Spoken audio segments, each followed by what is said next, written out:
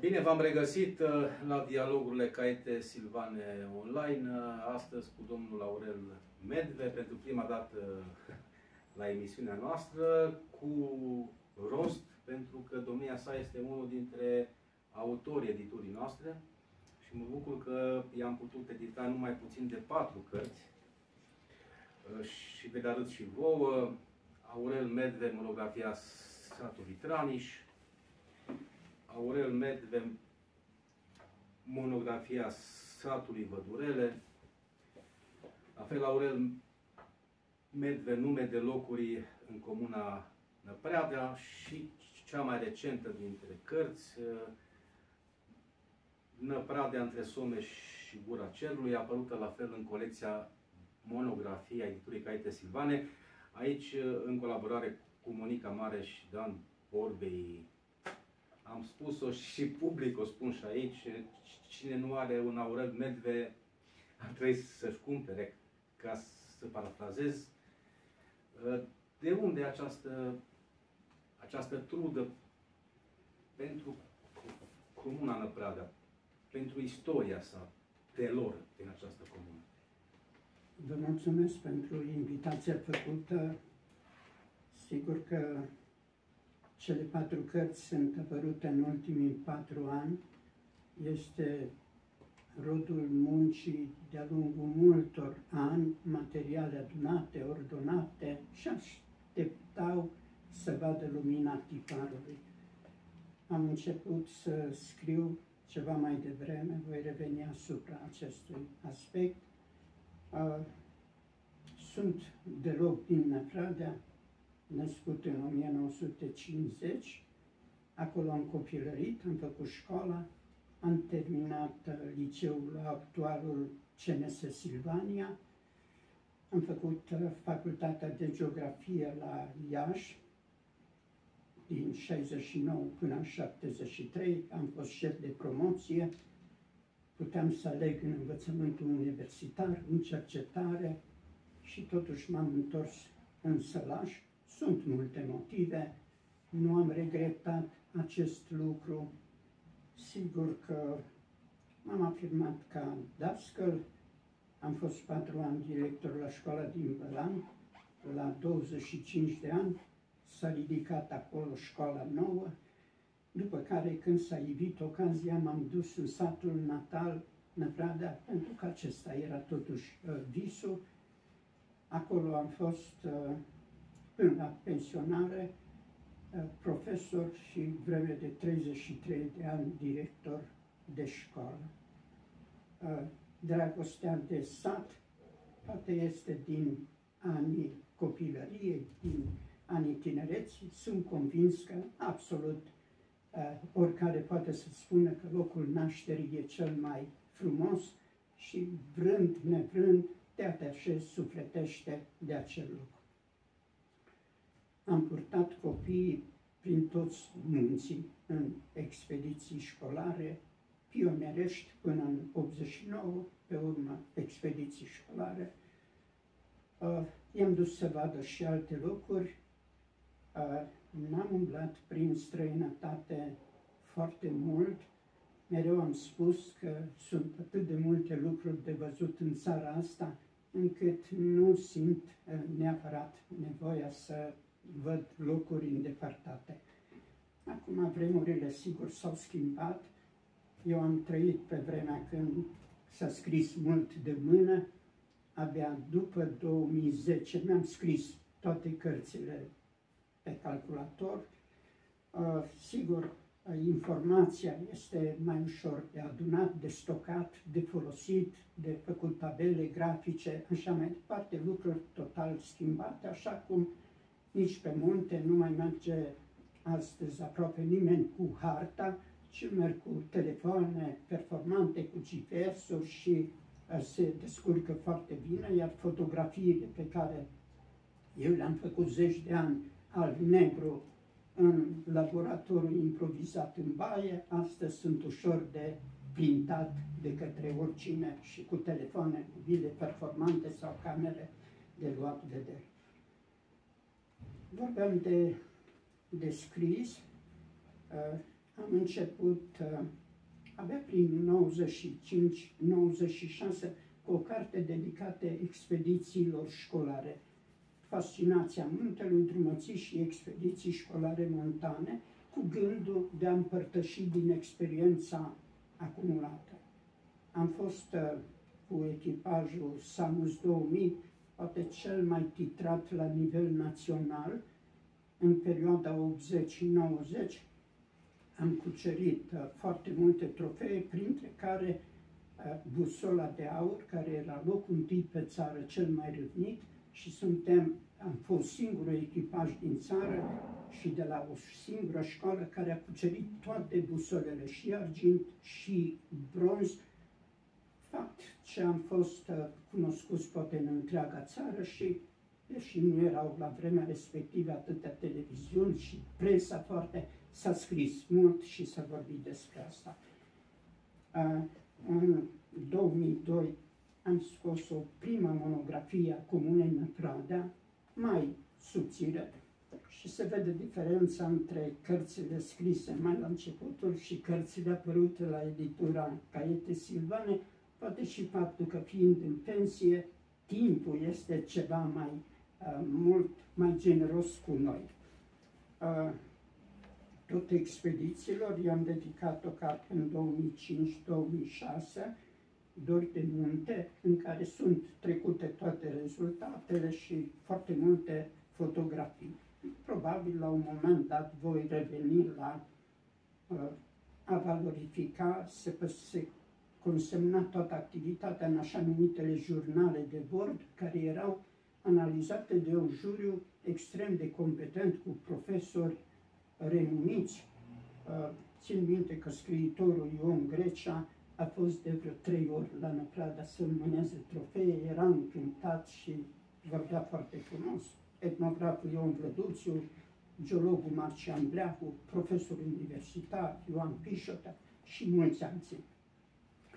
În 2008, tot cu sprijinul Consiliului Județean, a apărut uh, primul ghid al ariilor naturale protejate din Sălaș, împreună cu domnul profesor dr. Ioan Abrudan. A fost o primă încercare, zic eu, meritorie. Cei de la extensia UDB Geografie îmi spuneau că la un moment dat, cu ceva ani în urmă, era cea mai căutată carte pentru întocmirea lucrărilor de licență în Sălaș.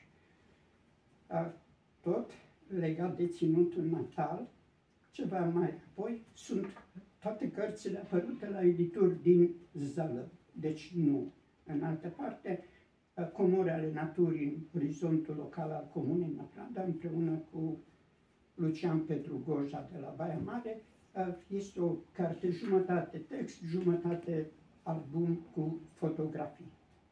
Cartea la care am lucrat cel mai mult, monografia școlii Năprada, apărută la editura școala noastră. Sigur, încă nu începusem colaborarea cu dumneavoastră, apreciată de unii cunoscători în domeniu, ca fiind probabil cea mai bună sau una dintre cele mai bune monografii școlare, nu din Sălaș, ci din țară. A fost trudă multă, sigur, aici am făcut clasele primare, gimnaziu, aici am lucrat 40 de ani, din care foarte mult, o viață 33 de ani director și am zis să rămână după mine ceva. Oricum e un lucru meritoriu și vă felicit și pe această cale pentru această trudă extraordinară. Mă repet, ar fi extraordinar dacă în toate comunele din județul Săraș am avea asemenea cărți, am avea asemenea monografii, pentru că ele, evident, sunt cărți de vizită, sunt cărți ale identităților locale și chiar nu înțeleg pe unii colegi sau pe unii primari care, uh, să spun pășleau, nu dau nici măcar 2 lei vechi pe asemenea inițiativă. V-am înțeles uh, eu am convingerea că în fiecare comună, în fiecare oraș, există dascăl inimoși, dascăl capabil care să scrie. Sunt multe monografii scrise în, în sălaș de profesori, de învățători, de ofițeri, de preoți. E, e un lucru meritoriu. Ar merita fiecare sat, fiecare sat, pentru că mereu am spus despre când am început să scriu monografia Tranișului, în 2020, după nume de locuri, mi-am dat seama că se duc bătrânii, mai erau câțiva în sat. Piere o lume. Schimbările din ultimii 20 de ani sunt fantastice și se pierd. În momentul când oamenii renovează casele, de obicei aruncă tot ce este vechi. Eu am mai prins încă satul tradițional, sigur, am copilărit uh, umblând de sculți pe cărări, sigur, îmbrăcați poate mai sărăcăcios, dar fericiți și au trăit toți copiii acelor vremuri și sărbătorile și dansul la șură și uh, seceratul și claca și toate lucrurile astea. Ori s-au pierdut și e destul de greu de recuperat, spre exemplu, fotografii, pentru că fotografii de acum 100 de ani sau 80 de ani au doar cei care au fost studenți uh, fie în URSS, uh, fie în țară și care aveau un aparat de fotografiat și veneau în vacanță. Uh, altfel, țăranul ceva mai târziu, prin 60-70, venea câte un fotograf de la oraș și întindeau un sol, un covor și făceau clasicele poze în care să nu zâmbească, să iasă poza cum trebuie. Sigur că a, am încercat să valorificăm, să adunăm tot ce s-a putut, e și modalitatea ușoară de a colabora cu pe Facebook, pe WhatsApp, încât să să primim și sigur că lucrând la o carte în statistici, în recensământ, în celelalte, de obicei e tratată toată comuna cu toate satele. Și atunci eu n-am scos pentru câte un sat, ci am scos pentru toate încât uh, o parte din datele am și sunt păstrate uh, bine. Uh, sigur că oferta pe care le-o faceți de a sprijini apariția acestor cărți, monografii și a tuturor creațiilor scrise, este meritorie. Acum, sigur că se poate, dacă ai bani, scrie chiar orice și publica se găsește, se găsește. Nu, nu mi-am permis niciuna din cărți, nu am făcut-o cu investiție financiară proprie. Deci nu, nu am scris doar pentru a avea scris. Am zis, e suficient că trudesc să le scriu, trebuie să-mi găsesc încât ele să apară. Tirajele nu sunt foarte mari, au oscilat între 200 și 500 de exemplare, dar încă o dată nu este roman și ultima carte nu este foarte ușor de parcurs nu se poate de la un capăt la altul, ci cauți ceea ce te interesează, sunt mii de nume, sunt uh, mii de date uh, grafice, fotografii și atunci, sigur, ultima parte cu amintirile din copilăria năfrădeană al lui Vorbei Dan e mai savuroasă, uh, scrisă o încercare de transcriere în graiul local, care, știți dumneavoastră, e destul de dificil, pentru că încă nu s-a găsit pentru uh, sunetul hi un semn. Uh, nu se spune fier, se spune hier. Uh, fiertură, hiertură. Uh, firiz, hiriz. A pune un H nu este suficient. A încercat, a încercat un domn profesor cu uh, o carte despre graiul vechi din Meseșerii de Sus, da. Și a încercat o asemenea, sau un asemenea demers de a, de a stabili transcrierea sunetelor. A fost o adevărată aventură cu acea carte, dar cred că altceva, sau și altceva important, cu aceste cărți, ele de fapt descriu o lume aflată aproape de dispariție sau în orice caz de o transformare radicală. Din păcate și satele sălăjene s-au golit de oameni și au rămas ca în război bătrânii și femeile. Doar că prin cărți recuperăm sau salvăm ceea ce a fost sau ce este până astăzi și poate peste ani, peste zeci de ani, ă, la, nu acum, la vârsta tinereții, când nu dau poate prea multă importanță, ceva mai cei de la 50 la 70 de ani sunt cei mai curioși și mai interesanți, cei care au trăit uh, vremurile. Dar cărțile sunt aduse la zi, cu informație uh, până la zi.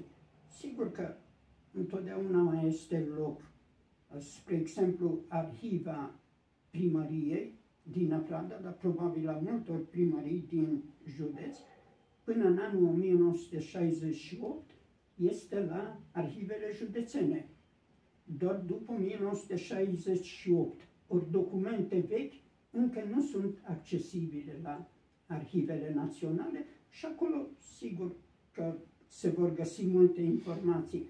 Problema e, așa cum am făcut expedițiile, fără plată, fără câștig, sigur cu, cu o simplă hârtie un, care era aprobată de inspectoratul școlar și cu răspunderea de viața tuturor copiilor, pe semnătură proprie, mergeam cu câte 10-20 de copii și stăteam o săptămână, două, trei în munți, făcându-ne singur mâncarea în corturi și făcând și cercetare la nivelul uh, copiilor.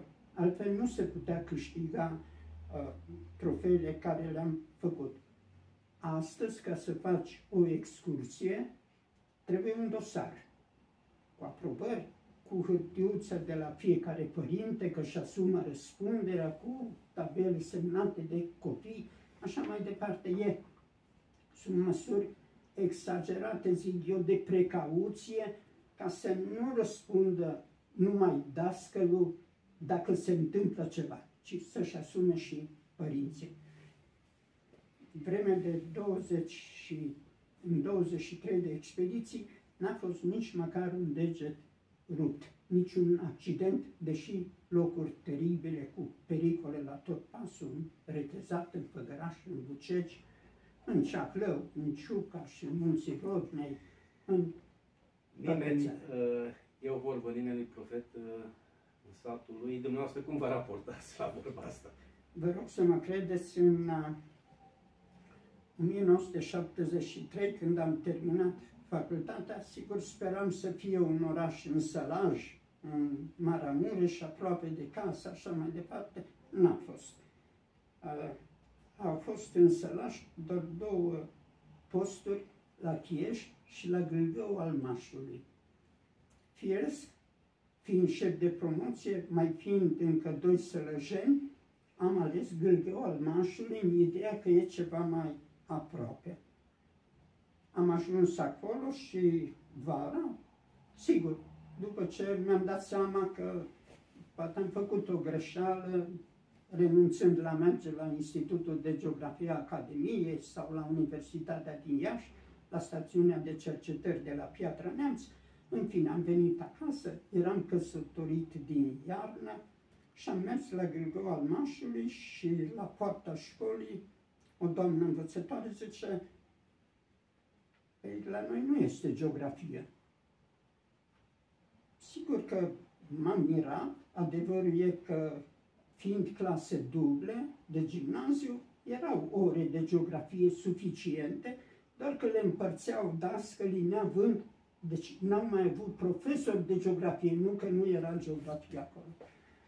Uh, după un an, cu experiență puțină, fără definitivat, fără nimic, m-au dus director la școala din Bălan, care era în construcție. Am stat cu minte la 25 de ani, de ziua mea topeam var într-o groapă cu oamenii de serviciu, vacanțele, ne spunea inspectoratul școlar, care aveți școli în construcție fără concedii și așa am priceput, am stat de la ora 6 când vineau meșterii și până pe la 8-9 când veneau oamenii din sat Salahorii, lucram cu oamenii de serviciu să facem mortar și să se lucreze. Erau foarte mulți uh, uh, cetățeni din Balan, din Cherchiș și din alte sate la învățământul fără frecvență. Aveam o evidență foarte clară care ce meserie are și știau foarte bine că nu intră în examen înainte de a presta muncă. Sigur că astăzi ar fi de condamnat așa ceva. Cum a, și faptul că elevii participau la întreținerea curții școlii, a parcului, la așezatul lemnelor sau a cărbunelui în depozite, astăzi nu. Acum s-a evit posibilitatea în 77 să mă titularizez la Năprade. Am făcut-o, deși după o contestație, uh, întâi nu mi s-a dat uh, dreptul, eu aveam, aveam, am rezolvat restrângere de activitate la Gâlgău, livindu-se postul la Năprade. Și postul s-a dat unei doamne care avea restrângere de activitate la Domnii s-a considerat că domninul e mai aproape de Năpradă decât Gâlgău, deși eu le-am spus bine, dar eu sunt din Năpradă, eu nu vreau decât să merg acasă. Am venit în audiență, la vremea ce la partid, doamna Pitică, Maria, era pentru audiență, deci la și un profesor, nu știu dacă dumneavoastră știți, dar cui s-a dat postul, mie nepoată. Și probabil au crezut că se face un lucru bun. Deci dumneavoastră aveți dreptate. Și s-a rezolvat povestea. N-am plecat până în 79 când s-a evit situația, ocazia să aibă și soția post tot la Năpradea. Atunci m-am dus acasă. Foarte mulți din minister care veneau de la inspectoratul școlar, nu te duci în satul tău.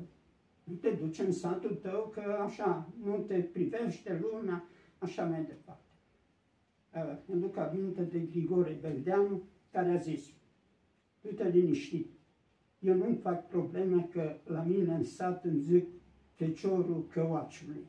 Și m-am dus, părinții mei au fost țărani, taică meu când a mers la liceu s-a dus la mine, de unde s-a pensionat, de la Baia Mare.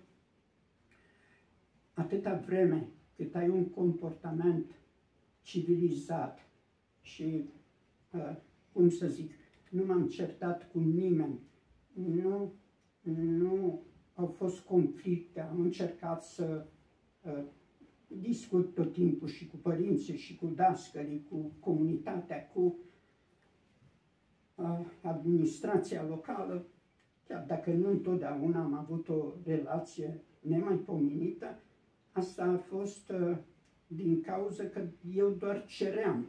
Ceream, nu nu voiam să vină să facă ei uh, ce trebuie în școală. Ceream doar să ne asigure și de vreme ce nu am fost înscris în niciun partid decât ăla de dinainte de 89, nu au fost probleme și poate așa se explică faptul că am rezistat încât nu eram dator să raportez niciunui partid. Uh, oamenii au apreciat prin ceea ce am făcut, prin ordinea și disciplina ce se menținea ce a fost în școală, pentru că s-au schimbat lucrurile și, uh, din păcate, nu tot un bine. Baza materială a școlilor, a școlii din Năprada este teribilă, grădinița la nivel nemaipomenit, doar că numărul de copii e mic acum din toate satele abia se adună de câte o clasă, cum în perioada uh, 80, uh, 90 până spre 2000 aveam doar o clasă de copii din Năcradea. Dar situația nu este, nu este particulară, e o situație generală la nivel de județ. Aproape de finalul întâlnirii noastre, ce planuri aveți sau la ce lucrați? Mă gândesc că nu o să stați liniștiți. Acum, deocamdată mă simt, uh, mă simt bine și cu sănătatea și uh, avantajul că avem nepoți doar în weekenduri sau prin vacanțe. În rest cu soția, dacă Bunul Dumnezeu ne ajută și să, să simtă și soția bine, pentru că nu este, nu este ușor de suportat. Acum știți cum e la țară, nu, nu avem încălzire centrală, trebuie să încălzim uh, camere. Și atunci, uh, iarna, mai stăm într-o cameră și să ții acolo și laptopul și să meargă și televizorul și celelalte. Nu e foarte confortabil și uh, bine.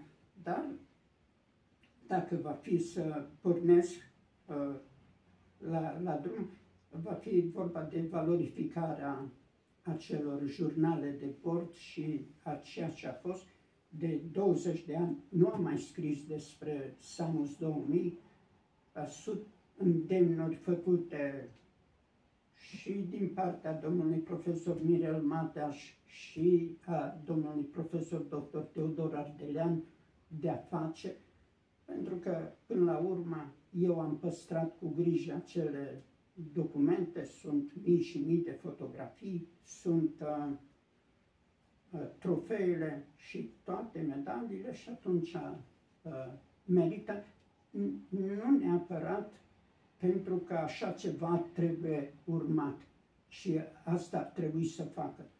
Nu se înghesuie lumea. Din 200 de copii care au fost cu mine în expediție și sunt foarte mulți astăzi profesori și celelalte, doar vreo doi au aplicat și au încercat să facă. De ce? E foarte greu, răspunderea imensă, uh, muncă neplătită pentru că doar cei care și-au înființat o firmă, să zicem, de de organizare a unor asemenea activități, probabil că se poate câștiga. Eu n-am avut, mai merg cu drag și astăzi pe dealuri și pe unde pot, mă simt, uh, mă simt încă, încă bine și sper să mai pot, uh, să mai pot scrie. Nu foarte mult, nu foarte mult, pentru că este o vârstă, e bine, dar 16 cărți nu e puțin, nu e puțin și, sigur, ochelari ce trebuie schimbați după fiecare cap. La finalul întâlnirii noastre, dacă mai doriți să spuneți ceva, să subliniați, vă rog. Uh, eu și vreau să vă mulțumesc încă o dată, să vă doresc dumneavoastră și celor care vor urmări această înregistrare multă sănătate, sărbători frumoase, un an nou mai bun, vremurile și vremea s-au schimbat, trebuie să ne adaptăm și este, este loc sub soare, spun eu mereu, pentru toată lumea, încât să uh, fie bine. Urmăresc uh, postările noastre și, în general, viața culturală la nivel de județ, nu sunt foarte implicat în participare la toate evenimentele, dar le urmăresc cu drag și apreciez. Mulțumim și noi. La revedere! La revedere!